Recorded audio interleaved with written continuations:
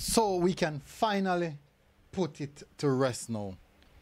I do think that um, let me let me get make it specifically clear. I did a video on Steve McClaren um, basically six days ago, actually. Six days ago, I did the video on Steve McClaren Um, one in one of the you know the small series in the Reggae Boyz head coach update. But so we can now put it to rest. We don't need to speculate anymore because from my sources, which I strongly and confidently believe in, would have informed me officially that Steve McClaren, he's the coach or he's the person who got the nod.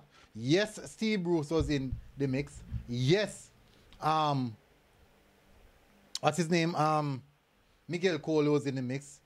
Yes, they contacted, they had conversations with with um, Ole Gunnar Solskjaer. So all the names that you'd have seen thrown in the in the in the mixture, yes, they were a part of it. Dwight Yorke as well. Now only a few made it to the shortlist. Only a few made it to the shortlist. But apparently, Steve McClaren is the one that the JFF has given the nod. Said you will take the helm of the Reggae Boyz new head coach. I think I saw I think I saw other persons doing video. I didn't know. But I did the video. Um, today what? Today is uh, Wednesday. I did the video last week, Thursday. Let me see if we can make it specific. Let me get it exactly when I did the video. Um, July the 24th, actually. I did it July the 24th. I don't know if you can see it here, so. Uh, good. I put it on the screen. See there? Steve McClaren.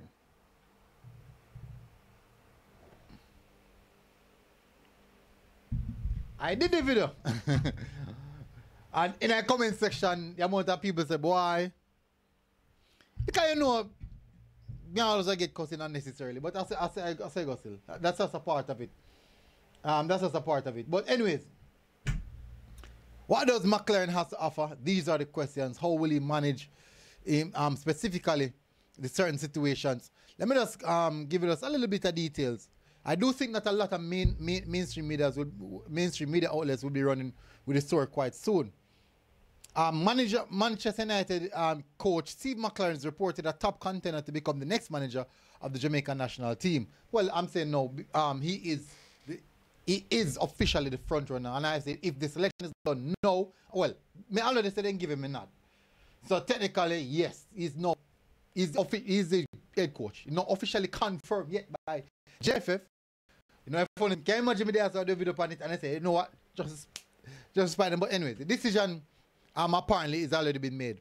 Uh, McClaren made his return to United in 2022 after 21 years he joined Erik Ten Hag backroom staff, having previously left Old Trafford in 2001 to take his first managerial position at Middlesbrough after spending three seasons as assistant to Sir Alex Ferguson.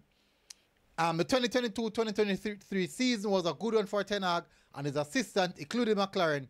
United ended a six-year drought to win Carabao Cup and also qualified for the Champions League.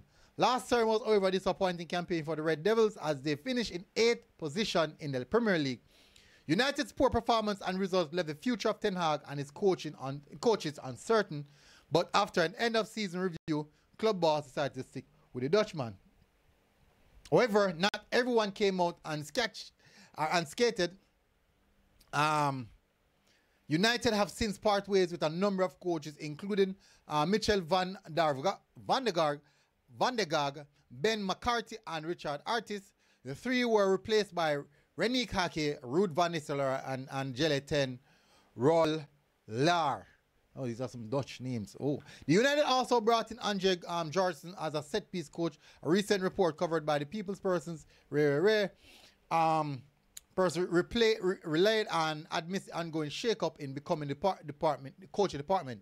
McClaren feel like he has been pushed down the pecking order and as a result, he is considering quitting. It was stated that McClaren is ready to leave his post voluntarily before he is sacked. And according to journalist Alan Nixon, a possible uh, next destination has emerged for the 63 year old. Nixon believes via his Patreon that McClaren is the first choice candidate to become the new Jamaican national team boss. McClaren is in a position to take over the reins of the job offer if the job offer becomes concrete.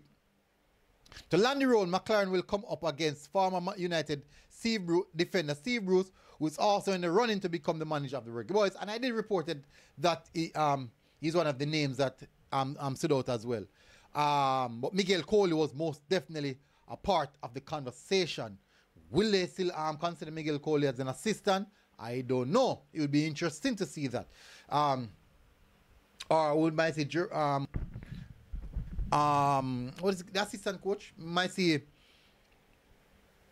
or the heck man, Merron Gordon still remain as the assistant coach. Um, the land uh, it's believed that talks have already been held between J Bruce and Jamaica over potential replacing Emerald Grimson, who resigned after his side exit from the Copa America, where they failed to win a match. All right, so let give you guys some context surrounding um, the potential new manager, should I say, the new manager. It's quite an interesting one. Um, at Manchester United, as I said, what is his philosophy? I'm not sure what is his philosophy because most of that work that I've seen he has, he has done so far would have been the assistant role to Ten Hag. So I can't definitely say that he will go, he's going to come with this brand of football. He's going to play this style of football. I do think that most of the support base did get highly excited around um, Ole Gunnar Solskjaer. I think it's the branding um, aspect. But Steve Bruce um, came in, and they really, uh, based on what I heard, they really like Steve Bruce, but just some minor stuff why they kind of didn't tip Steve Bruce over the line. So Steve McClaren is the one who got the nod, and it's quite an interesting one. It's quite an interesting one. But we will see how this one materialize. You know, them said, start, I started the new um the first week of August. Them, them go um announce it, which we will, I think tomorrow is the 1st of August. So I assume that we might see the announcement between now and next, but not now, between tomorrow and next week, Wednesday, we might see the announcement. Um, from what I was, I, I was told, you already get the contract, you already review the contract.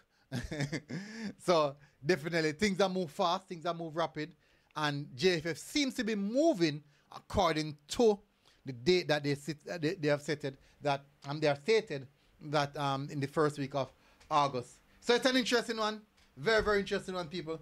Um, tell us what you think, people. Smash the like button, hit the subscribe button. See the camera, camera gone. Gone for a reason. Anyways, big up on yourself, people. MG Sports TV. Glad to have this discussion. I'll see you guys again. Until next time. God bless. We're out. Know what I mean? If you sit out up my light. Big up, people. Like, share, subscribe, or link in the comment section. Make sure so no buy us a coffee. We really appreciate it. Big up MG Sports TV. Road. God bless.